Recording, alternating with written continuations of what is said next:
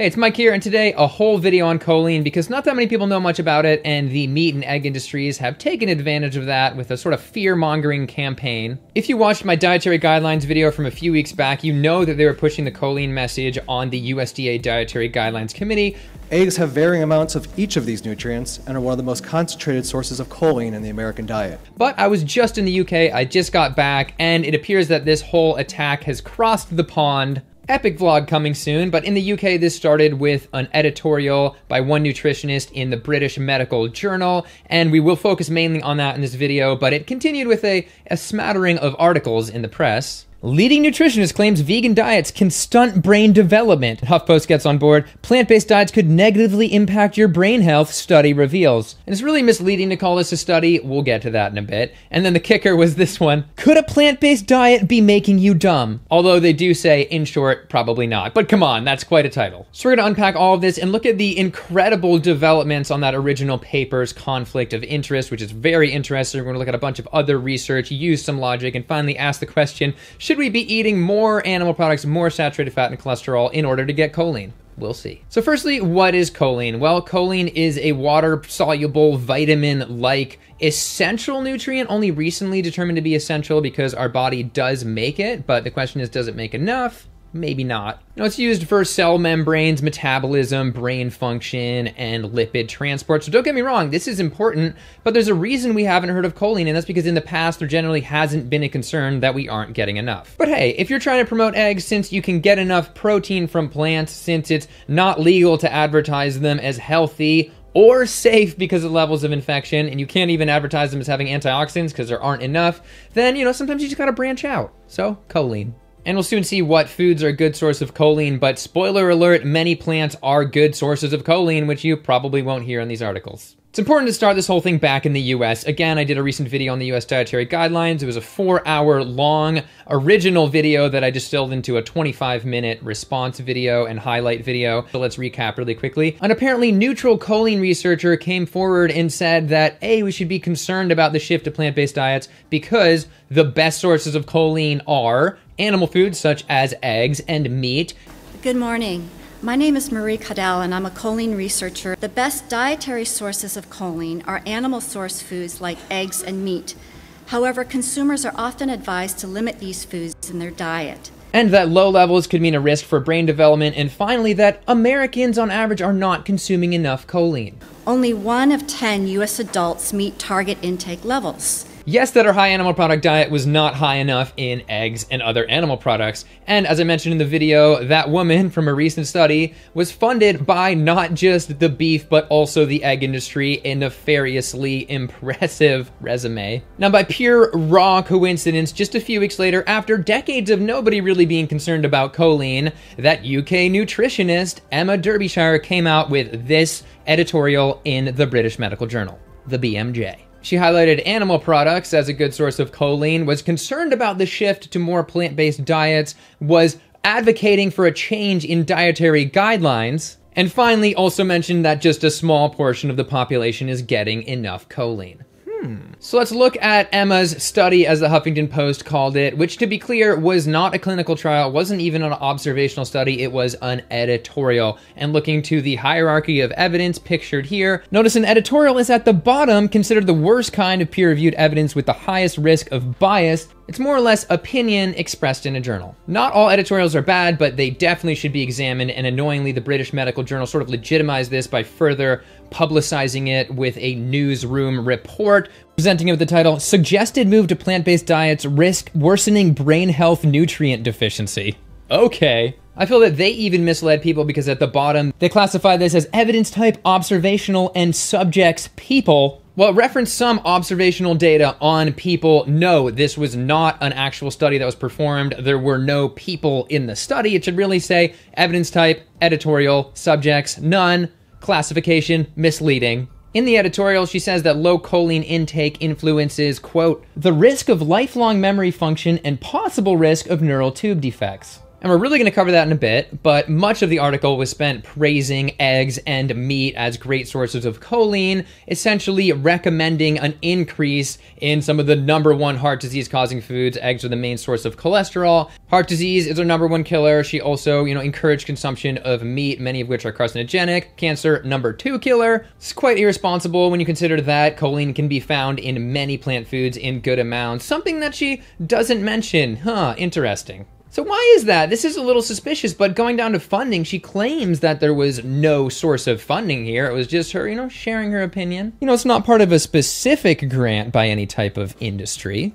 But no funding doesn't mean no conflict, and this is where things get really interesting. When I was researching this video, I was like, oh my gosh, I found something because I was originally sent to the first posting of this editorial, which said a newer version is available. I then clicked on that, and a newer version was available. They've clearly updated this several times, yet the body of the editorial doesn't seem to be changed, so where's the change? From the first one, looking at competing interests, quote, No, there are no competing interests. But from the second one, quote, Emma Derbyshire is a member of the Meat Advisory Panel, which receives an educational grant from the meat industry. Oh, it gets better. The third time, quote, Emma Derbyshire has written this article independently and did not receive funding for writing it. It was written solely to raise choline awareness. She has, however, consulted for and advised the Meat Advisory Panel, Marlow Foods, the Health Supplement Information Service, and the British Egg Information Service, amongst others. What others? So we're adding the choline supplement companies and the egg industry. Interesting. And then for the fourth one, quote, Emma Derbyshire was a fictional person created by the egg and meat industries, but has been recently 3D printed out of pure choline covered by a layer of false human skin. She is powered by animal blood, but sources of power are not considered sources of funding. Sorry, it appears that they actually took down that fourth version, so for a little bit more details, yes, the Meat Advisory Panel is funded by the UK meat industry, and it's known for such gems as its, you know, members saying, quote, red and processed meats do not give you cancer. And that's after the WHO came out with their findings. Yep. This is actually a pretty shameful sequence of updates and explains exactly why the public is so confused, but let's let's focus on the actual ideas in the paper. Let's go. Here's a little taste of her bias in her choline food chart. First of all, beef liver is disgusting and is not part of the diet, so let's just cross that right off. By contrast, here's the most exhaustive resource of choline levels in foods. It's by the USDA. And in fact, what she was citing on choline levels actually cited this paper initially. And from that chart, yeah, eggs are high, but whole grains go neck and neck with meat, and legumes are right there as well, though it's not on that chart. And remember Emma's concern. You know, it's concerning given that current trends appear to be towards meat reduction in plant based diets. But replacing meat with legumes doesn't appear that it's actually gonna lower choline intake. To throw in some other examples of higher plant sources, here is soy flour, here is wheat germ, here's quinoa, and here's peanut butter. Why didn't she mention any of these foods? I think we know why. All right, now let's get to recommendations. The recommendations she puts forward are the Institute of Medicine's 1998 ones, which is 550 milligrams a day for men and 425 for women. Say you want to listen to the egg industry and, and use eggs to get to maybe 500 milligrams a day. That puts you at 374 milligrams of cholesterol, which is over the commonly recommended 300 milligram limit, which is usually accompanied by a 200 milligram limit for people who have heart disease. And actually, from our current US dietary guidelines, people should eat as little dietary cholesterol as possible. The Institute of Medicine's recommendation is arguably too high. From this study, it was based not on brain damage or brain function or anything like that. It was based on preventing fatty liver disease in likely people eating the standard American diet. And perhaps most importantly, they didn't look at different doses for preventing this. They simply chose a dose and found that it worked, and that's what the recommendations were based off. And plus, if vegans really weren't getting enough, wouldn't they have like an epidemic of fatty liver disease? I mean, from this book, quote, dietary choline deficiency causes the rapid development of fatty liver. There doesn't appear to be an epidemic of fatty liver disease in vegans, and that is a disease that's accompanied with increased inflammation. Vegans, on average, have about 30% lower levels of inflammation, worth noting. Of course, the egg and meat industry went for the highest recommendation, but it's really, really worth mentioning the European Food Safety Authority's recommendation, that's official EU authority, of 400 milligrams per day for adults in general. You know, this is almost 20 years newer, it's from 2016, and they say that it is, quote, based on the mean intake from healthy populations observed in the European Union. Now, obviously, just because a healthy population has a certain intake doesn't mean you require that intake to be healthy. You know, that European population probably also has, you know, a few hundred milligrams of cholesterol a day that they're eating obviously not required. Now, just for fun, here's a single vegan meal with some quinoa, broccoli, and pinto beans in, you know, intuitive amounts, not just 100 grams. And it reaches over 300 grams of choline with just 500 calories or a quarter of the average calorie need.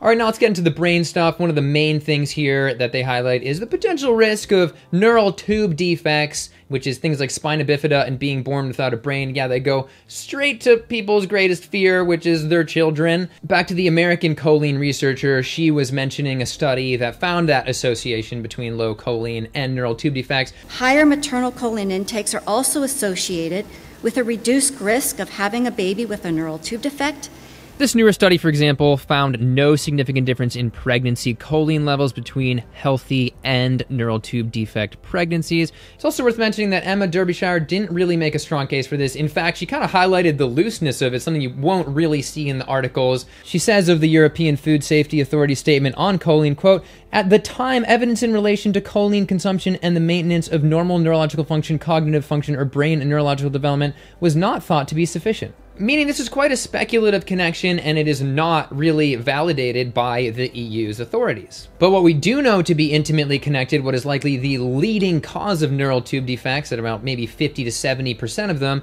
is a folic acid deficiency. And as I mentioned several times, because vegans eat so much folate in the form of legumes and leafy vegetables, this study found that the vegans had about four times lower folic acid deficiency rates than the meat eaters. And another connection worth mentioning is neural tube defects and diabetes during pregnancy, but from the Adventist studies, vegans had 78% lower risk of all diabetes, so, no, a vegan shouldn't sacrifice these massively lower neural tube risk factors for this tenuous choline connection, which may not even exist, especially when you can get choline from plants anyway. And just to get the words of an expert in here looking to plant based news, they covered this and said that, quote, according to Professor Emeritus of Nutrition and Dietetics at King's College London, Tom Sanders, choline can be made in the body and is abundant in many plant based foods. Says there's no justification for suggesting that plant based diets risk damaging brain development and how his own research on vegans in Europe and the USA find the growth and development of vegans and vegetarians to be normal. Which is, of course, echoed by the largest organization of nutritional professionals, the Academy of Nutrition and Dietetics, saying that a well planned vegan diet is suitable for all stages of life. As for adult brain functioning, neither of these choline researchers presented anything that was very persuasive, but it's worth noting, just from a logical perspective, that a population like the Okinawans, based off what they were eating in the 40s, for example, and how they had extremely low levels of cognitive decline until, of course, they went on a more westernized diet, you know, makes it seem like we're probably getting enough choline in general. And for fun, a little anecdote two time world memory champion, this Swedish dude, is vegan. Also, vegetarians who don't eat that meat with choline have higher IQs, an association but worth mentioning. Smugness complete. But the kicker to all of this is that high levels of choline intake could definitely cause some problems, as this paper mentions. Now, looking at a study of 7,000 people, higher choline was associated with a bunch of cardiovascular risk factors. We're talking triglycerides, glucose, BMI, body fat. In fact, it might be a useful biomarker to diagnose heart disease. As for the mechanism, I have a recent video on TMAO or trimethylamine N oxide, which appears to promote atherosclerosis. This paper actually highlights that exact mechanism. Choline breaks down to trimethylamine in the digestive system, and from this paper, you can actually see a spike in TMAO levels after people ate eggs. Vegan gut bacteria doesn't convert choline into TMAO though, unless you give them supplements, which this study did, which raised their TMAO levels and also raised their platelet aggregation levels, something you definitely don't want. You definitely don't want clumpy blood when you're trying to prevent heart disease. In the end, the dairy and egg industries are clearly pushing this message on a unified front, and honestly, Emma Derbyshire's BMJ article was embarrassing in terms of the conflicts of interest there. Sadly, a lot of the articles have not mentioned the updated conflicts of interest, so if you got time, you might as well feel free to message them and be like, hey, this is worth adding. Another thing that both of these choline researchers were pushing was having choline supplements, which is absurd considering what will happen with TMAO and heart disease down the line. Finally, you know that if the population that is probably eating the most animal products on the planet, most eggs and meat, still doesn't have enough choline intake, you know that there's an issue here with this logic, and then finally telling people to increase their choline consumption through animal products is just bad for people's bodies, bad for the environment, and bad for the animals. All right, let me know down below what you think about all this choline stuff, if I maybe missed any choline points, and feel free to like and subscribe if you haven't hit the notification bell. Thanks for watching, and I'll see you in the next video.